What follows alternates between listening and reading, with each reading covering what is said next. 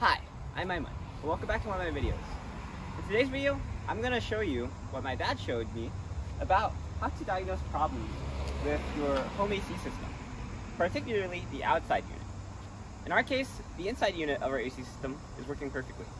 However, on the outside, while the fan is working perfectly, my dad says he doesn't hear any noise coming from the compressor. So my dad's not an expert in AC systems, but he's worked on a couple of AC and HVAC systems in the past.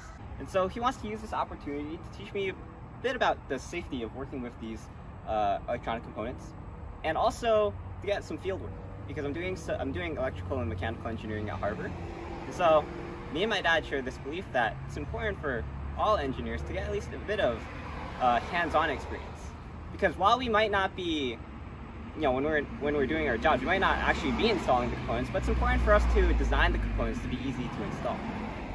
And so this video is more so for me to look back to in the future and refer to whenever I have to fix our home's AC system. All right, so we're gonna open our breaker box here. Just need to push down this button, comes down and swings out. Other houses might be different, but that's ours.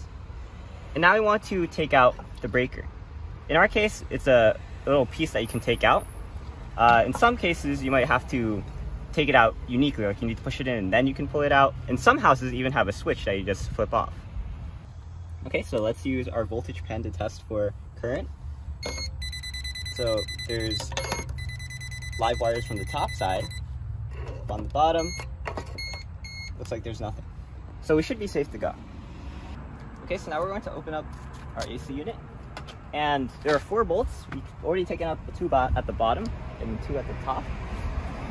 So just gonna get a drill and take them out.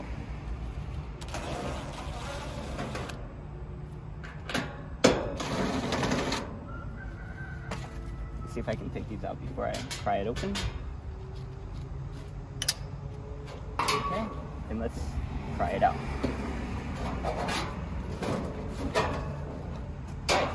So now we have access to the inside of our AC unit. All right, so a bit of anatomy here. This is the fan. Uh, that is what blows and circulates the air. This is the compressor.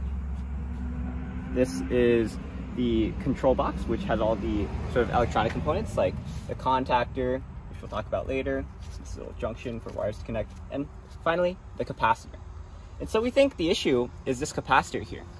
So, I mean, hope we hope that the issue is the capacitor uh, and not the compressor, because that would be expensive to replace. And we tested this uh, capacitor for its capacitance. We found out it was out of tolerance. And so we're going to try to replace it with this new capacitor and see if that fixes our issue.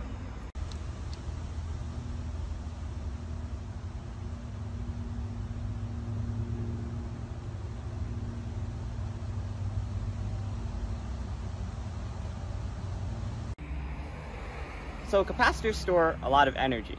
And when we're dealing with capacitors, we want to make sure that before we work with them, we release that energy. So first off, you want to wear some rubber gloves to protect yourself. And ideally, you take a screwdriver with a rubber handle, and you would connect all the leads to release that charge. In our case, you can see that there we're not able to actually connect our leads because of this barrier. So instead, we're going to use alligator clips to connect our leads. Okay, so we're we're sure that it's the capacitor that's the issue, so we're going to take it out and replace it with new one.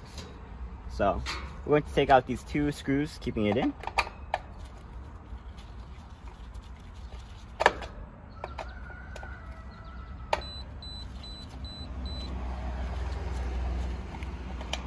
Okay.